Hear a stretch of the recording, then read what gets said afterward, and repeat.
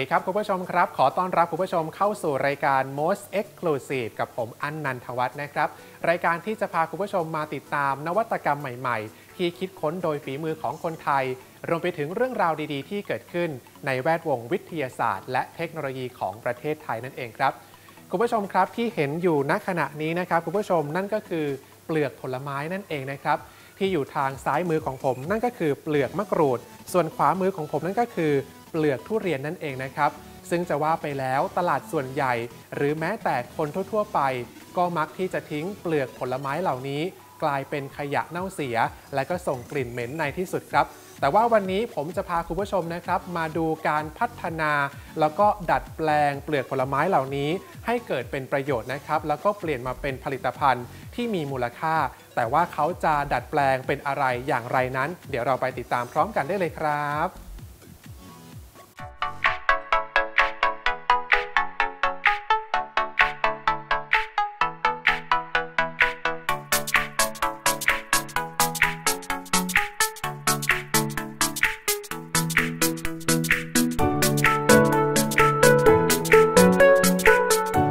ชมครับ และตอนนี้ผมก็มานั่งอยู่กับนักวิจัยเป็นที่เรียบร้อยแล้วนะครับ เพื่อที่จะมาร่วมพูดคุยกัน แล้วก็นำเสนอเรื่องราวในวันนี้นะครับ ซึ่งก็ต้องบอกนะครับว่าน่าสนใจเป็นอย่างมาก เพราะว่าเขาได้นำสิ่งที่เหลือทิ้ง นั่นก็คือเปลือกผลไม้ ซึ่งต้องบอกนะครับว่าหลาย ๆ คนอาจจะมองข้าม แล้วก็ทิ้งสิ่งเหล่านี้ไป แต่ว่า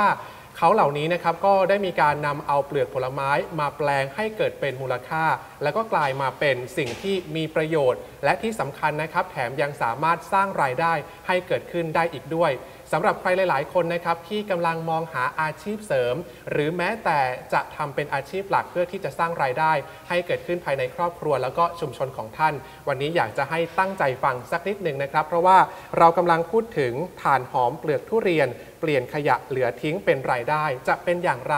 และทำอย่างไรกว่าจะกลายมาเป็นถ่านหอมนี้นะครับวันนี้เราจะพูดคุยกันนะครับกับนักวิจัยอาวุโส สถาบันวิจัยวิทยาศาสตร์ และเทคโนโลยีแห่งประเทศไทยหรือววนะครับขอต้อนรับ ดร เรวดีอนุวัฒนาครับ สวัสดีครับ ดรสวัสดีคค่ะรับวันนี้ต้องขอบคุณนะฮะดร เรวดีที่วันนี้ให้เกียรติมาร่วมรายการ Most Exclusive เดี๋ยวเราเข้าเรื่องกันเลยละกันค่ะนะฮะเพื่อที่จะให้คุณผู้ชมทางบ้านได้รู้จักสำหรับ สิ่งประดิษฐ์แล้วก็นวัตกรรมนี้กันสักนิดหนึ่งนี่นะครับ เดี๋ยวให้ดรเรวดี เล่าให้ฟังเรียกว่าเกริ่นให้ฟังเป็นน้ำจิ้ม เพื่อที่จะให้คุณผู้ชมรู้จักในเบื้องต้น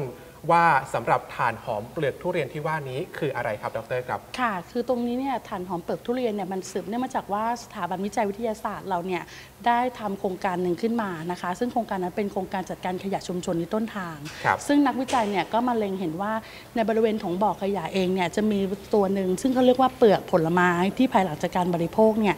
ก็แบบเกิดขึ้นในปริมาณมากนะคะครับอย่างกรณีที่ผ่านมาเนี่ยก็จะมีในรูปของตัวทุเรียน ซึ่งภายหลังจากการบริโภคก็จะเกิดเป็นเปลือกนะคะ อย่างจังหวัดที่ผ่านมาทางภาคเหนือ ที่เคยได้ข่าวมาแล้วใช่ไหมคะคุณอ่านว่าครับจะมีในรูปของตัวเปลือกที่ภายหลังจากการบริโภคถึง 8 ตันต่อวัน แค่จุดจุดๆเดียวนะคะเยอะมากนะฮะปริมาณนั้นถึง 8 ตันต่อวัน ซึ่งตรงเนี้ยเองอะนักวิจัยก็เลยเข้ามาดูว่าจะ เราก็ตามไปดูนะครัคะบว่าปลายทางของตัวเปลือกทุเรียนพวกเนี้ยจะไปอยู่ตรงไหนนะคะ สุดท้ายเราก็แล้วเสร็จว่าปลายทางนั้นก็อยู่บริเวณที่บ่อขยะที่กองทิ้งไว้ ครับ แล้วก็ไม่ได้ใช้ประโยชน์อย่างไร ก็คือพยายามให้ตัวนั้นเนี่ยมีการย่อยสลายให้เกิดเป็นปุ๋ยนะคะ ซึ่งตรงเนี้ยเราก็มองว่าของเสียเหลือทิ้งเหล่านี้เนี่ยก็จะกองเป็นภูเขาค่อนข้างมาก แล้วเราครัก็บ เลยมามองว่าจากงานวิจัยตัวเนี้ยเราจะทำอย่างไรไปแก้ปัญหาในเรื่องของเปลือกทุเรียนตรงนี้ได้ครับ ค่ะ อันนี้ก็เรียกว่าเป็นที่มาที่ไปใช่ค่ะนะฮะพอเล็งเห็นถึงปัญหาที่มันเกิดขึ้นค่ะนะฮะซึ่งอยู่ที่จังหวัดทางภาคเหนือค่ะนะฮะเป็นเปลือกผลไม้แล้วก็เปลือกทุเรียนค่ะซึ่งหลาย ๆ คนชื่นชอบแล้วก็รับประทานใช่ค่ะเป็นชีวิตจิตใจนะฮะหลายคนนี่ก็เรียกว่าหาซื้อกันมา แต่ว่าเปลือกของทุเรียนเนี่ยก็กลายมาเป็นขยะเป็นของเหลือทิ้งค่ะนะฮะซึ่งตรงนี้นักวิจัยก็ได้โจทย์มาก็คล้ายๆว่านำมาแปลงให้เกิดเป็นมูลค่า คือเรานักวิจัยเราเองเนี่ยเราไม่ได้มองในรูปของตัวชนิดของผลไม้อย่างเดียวครัที่บเป็นทุเรียนนะนะคะ เรายังฮะมองรูปของตัวพวกเปลือกมังคุด เงาะอะไรก็ตามที่ภายหลังจากการบริโภคเนี่ยค่ะครับเราก็มองมองว่าเอ๊ะจะทำอย่างไรในการนำเอาเปลือกผลไม้เหล่านี้ซึ่งก็ถือว่าเป็นชีวมวลตัวหนึ่งครับนะคะ มาเพิ่มมูลค่าครับการสร้างมูลค่าเพิ่มนะมีหลายวิธี แต่ทำอย่างไรให้สามารถนำงานวิจัยเหล่านี้ไปถ่ายทอดให้สู่เชิงสังคมได้ อันนี้คือเป็นภารกิจหนึ่งของที่ววเองเนี่ยนะคะตระหนักอยู่ แล้วก็ครับพยายามผลักดันให้งานวิจัยเนี่ยมีการนำไปใช้ประโยชน์ในสู่เชิงสังคมครับค่ะ อันนี้ผมถามสักนิดนึงนะครับค่ะว่าเปลือกผลไม้เปลือกทุเรียนหรือเปลือกอะไรก็แล้วแต่เนี่ยมันสามารถดัดแปลงให้กลายมาเป็นผลิตภัณฑ์อะไรได้บ้างนอกเหนือจากถ่านหอมหรือว่าถ่านไม้หอมค่ะ ไหมฮะโดยโดยทั่วไปเนี่ยก็มีหลาย ๆ กระบวนการนะครัคะ บในการนำเอาพวกเปลือกผลไม้เนี่ยนะคะมาทำเป็นในรูปของเปลือกถ่านนะครัคะ บเป็นถ่านเปลือกผลไม้ต่างๆ แล้วก็ไปนำขายนะคะ ไปตั้งวางขายแต่ว่าอย่างไรก็ตามเนี่ยในกระบวนการขายพวกสินค้าในรูปของโอท็อปหรืออะไรก็เนี่ยนะคะมันก็จะยังคงค่อนข้างมีกลิ่นกลิ่นหนึ่งอืมเราเรียกว่าเป็นกลิ่นน้ำมันดินครับนะคะที่เกิดขึ้นจากภายหลังจากกระบวนการเผา ซึ่งอุณหภูมิภายหลังจากการเผาที่ไม่สูงมากเนี่ยจะไม่สามารถกำจัดกลิ่นเหล่านี้ได้ครับนะคะงานวิจัยของเราก็คือเรามองว่าเราจะทำอย่างไรในการที่จะถ่ายทอดองค์ความรู้เนี้ยให้กับชาวบ้านในการกำจัดกลิ่นเหล่านี้ เพราะฉะนั้นสิ่งหนึ่งส่วนใหญ่แล้วที่เขาทำเขาก็จะมองในเรื่องของการแปลงพวกเอ่อเปลือกทุเรียน หรือเปลือกผลไม้เหล่านี้ไปทำเป็นฐานเชื้อเพลิงอัดแท่งอืมนะคะ ซึ่งฐานเชื้อเพลิงอัดแท่งเนี่ยถ้ามองมูลค่าแล้วก็สร้างมูลค่าเพิ่มได้ระดับหนึ่งครับนะคะก็คืออาจจะตกประมาณกิโลนึงประมาณ 20 บาทครับนะคะแต่อย่างไรก็ตามเรามองว่านักวิจัยมองว่าจะทำอย่างไรในการที่จะสร้างมูลค่าเพิ่มที่มากกว่านั้นอย่างก้าวกระโดดนะคะ ตัวนี้ก็เลยเป็นโจทย์โจทย์หนึ่งที่ทางนักวิจัยเราเองอะเราก็มานั่งนั่งมองว่าเราก็ประชุมกันในทีมวิจัย ว่าจะทำอย่างไรในการขับเคลื่อนของงานวิจัยตัวเนี้ยให้เกิดเป็นผลิตภัณฑ์ชุมชนต้นแบบครับค่ะ ซึ่งเปลือกผลไม้เปลือกทุเรียนกว่าที่จะมาเป็นถ่านหอม มันก็จะเป็นผลิตภัณฑ์ในขั้นทีหนึ่1 ก่อน ค่ะ ขั้นที่ 2 แล้วก็กลายมาเป็นขั้นที่ 3 ค่ะ คือเราเรามองในประเด็นว่างานวิจัยที่ค่อนข้างจะทำให้ดูแล้วเอ่อมีการตอบโจทย์ ฮะ จะต้องสร้างความแปลกใหม่ ครับ ทีมวิจัยเราก็เลยมามองตั้งชื่อตรงนี้ว่าเป็นถ่านหอม 3 in 1 นะคะเพิ่งซึ่งประโยชน์ของคำว่าถ่านหอม 3 in 1เนี่ยหมายความว่า